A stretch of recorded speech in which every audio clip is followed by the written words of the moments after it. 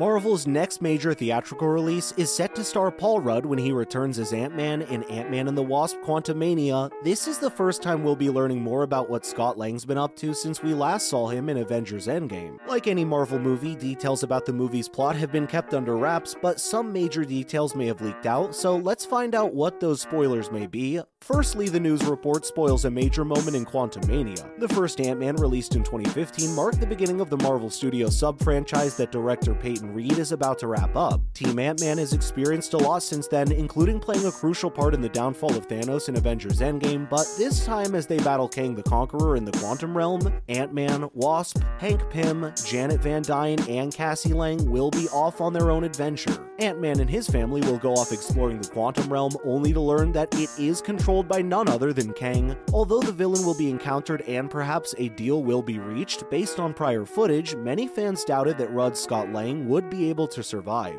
In fact, early rumors suggested that Rudd would die at the conclusion of Ant-Man 3, and when the trailer was released, fans started to believe the theory even more. For the Avengers, killing Ant-Man would send a powerful message that if Scott Lang could perish, then everyone else is fair game too. But all of this worry seems to have been useless. Showbiz lawyer Deborah Klein was mentioned in a report which further stated that Paul Rudd was set to appear in more Ant-Man and Avengers movies. If the report is correct, Ant-Man's future seems pretty solid. While killing off Ant-Man would have been a good shock to all fans, it looks like the movie will avoid killing off one of its main superheroes at this stage. Let's learn what Kang had to say about the rumor. During his appearance on Jimmy Kimmel, actor Jonathan Majors was questioned about his latest appearance in Marvel. For starters, he stated that he is indeed portraying the supervillain Kang the Conqueror, and that playing a villain is more enjoyable than playing a hero. He also agreed that villains leave a much more lasting impression than most heroes do. Majors claimed to have traveled from London where he was shooting the upcoming Ant-Man movie, and when Kimmel asked him to confirm whether he would be a villain on the order of Thanos, he responded simply with, True,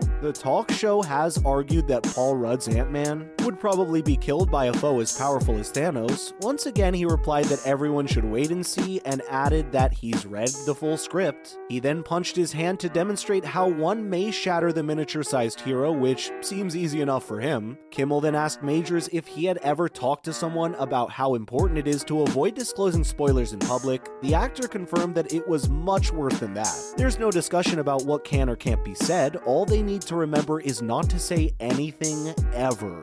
Sounds like Marvel's continuing to keep its secrets close as always. Up next, what does Marvel have planned? Kang's role in the MCU must change as Marvel continues to advance in the multiverse saga. Somehow Marvel has to show that their newest villain poses a serious threat to the multiverse if they want to top what they did with Josh Brolin's Thanos. It won't be easy, but they have to try. Majors is relentlessly being questioned about the newest big bad that Marvel is intent on following and how he feels about following Thanos' act. The actor understands that everyone wants to compare, but at the end of the day, they're very different. He that they're two separate worlds, so while fans will want to compare how this villain will work against the Avengers and how big a threat he'll pose, Majors will keep silent. He wants the movie to do the talking, and if you ask us, that sounds fair. But fans should be excited because from that little but fans should be excited because from the little that we all saw in Loki, Kang seems to be an exciting new character who we'll only learn more about gradually. The writer behind Loki, Michael Waldron, thinks that Majors is a wonderful actor and brings a completely different energy than Josh Brolin's. Instead of opting for the brutish strength that Thanos seemed to like portraying, Kang is meant to be more monk-like in his aspirations. He Who Remains is an intriguing new addition to the MCU, but fans will need to be patient. Following up, could Loki have already spoiled Quantumania's ending?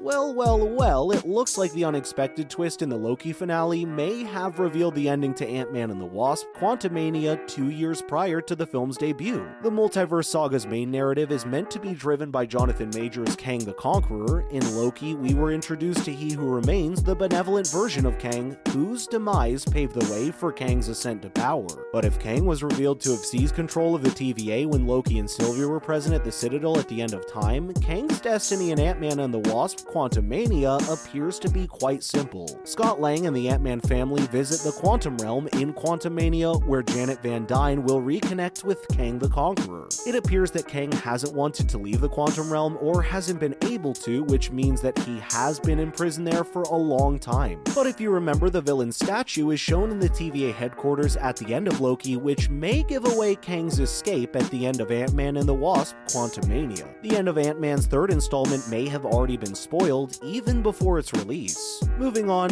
Feige says Ant-Man 3 is at the peak of MCU. Marvel Studios is also amping up its promotion for Ant-Man and the Wasp Quantumania as the release date approaches. New Ant-Man 3 footage was unveiled during the CCXP 2022 in Brazil, where new footage was shown to the audience present, and the president of Marvel Studios, Kevin Feige, was there to promote the movie too. Feige had nothing but praise for the Ant-Man cast and explained that he loved the amazing cast that has been with Marvel for the past eight years. Not only had Ant-Man 2 ended Phase 2, but now Ant-Man 3 was beginning Phase 5, and that too in such a major way, he compared the Ant-Man movies to Scott Lang's growth, who started as a petty criminal, and has since moved on to help save the Earth in Avengers Endgame. Feige loved that Ant-Man was now at the peak of the Marvel Universe. The future of the Marvel Cinematic Universe will be heavily influenced by Ant-Man and the Wasp Quantumania, according to Marvel producer Stephen Broussard. In a recent interview with Total Film magazine, Broussard talked about how Ant-Man movies in the past have been referred to as palate cleansers and how with Ant-Man and the Wasp Quantumania, they aim to change this. Since the first two Ant-Man movies always followed Avengers movies, Broussard talked about how they wanted the third Ant-Man movie to stand alone and feel central to the MCU. Coming up, how could Ant-Man 3 be integral to the multiverse saga? Feige pitched Ant-Man 3 as a massive team-up movie similar to Doctor Strange in the Multiverse of Madness back in July 2022, just following Marvel Studios' Hall H presentation at San Diego Comic-Con. Sam Raimi's MCU movie, which paired Doctor Strange and Scarlet Witch, served as a kind of small crossover. Given that the narrative of Ant-Man and the Wasp Quantumania appears to exclusively involve characters who have only ever been present in the Ant-Man movies, it's puzzling to see why Feige categorized the film in this way. Doctor Strange in the Multiverse of Madness and Ant-Man and the Wasp Quantumania both feature team-ups in the movies, but they also both play significant roles in the MCU's developing multiverse saga. As was already established, the antagonist of the Avengers, the Kang Dynasty, Kang the Conqueror, will be Team Ant-Man's main opponent. The antagonist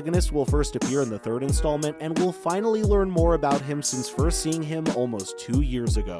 Simply put, Ant-Man and the Wasp Quantumania will surpass its predecessors in scale. Feige's claim that it is the peak of the MCU, though still seems unlikely given the franchise's 14-year runtime. The Avengers and Avengers Endgame were two of the high points of the Infinity Saga, but if Feige's claim is true, Reed's next threequel might serve as the MCU's blueprint as they move forward. Finally, why Ant-Man could be Avengers 5's most important hero. After being unable to appear in Avengers Infinity War, Paul Rudd's Ant-Man stepped up to play a significant role in the group's strategy to defeat Thanos' efforts and restore the universe's snapped people in Endgame. In reality, Scott Lang was the one who first put the idea of time travel forward when he discussed it with Captain America. Director Peyton Reed has already stated Kang will be imprisoned in the quantum realm in Ant-Man and the Wasp Quantumania. He will use extortion to free himself from the microscopic world, which is what prompts him to enlist Ant-Man's assistance. To protect his family and friends, Ant-Man will probably assist in granting him this freedom, exposing the multiverse to the Avengers' next major threat, and paving the way for the Kang Dynasty. Who knows though, if Kang will keep his word and actually help Lang and his family out of the quantum realm as well? Since he will be the team expert on the subject, Ant-Man may end up being the one to reunite Earth's mightiest heroes and inform them of Kang's threat. The hero might end up taking on a leading role in the movie, joining the three major characters that have already been announced for Avengers 5. So, it doesn't necessarily follow that Ant-Man is no longer at risk from Kang the Conqueror, even though he is sure to survive Quantumania. The time-traveling bad guy might still strike, especially because Paul Rudd will have appeared in the MCU for around 10 years at this point. That's a wrap for this video. Do you think Ant-Man could still die in Ant-Man and the Wasp Quantumania? Let us know in the comments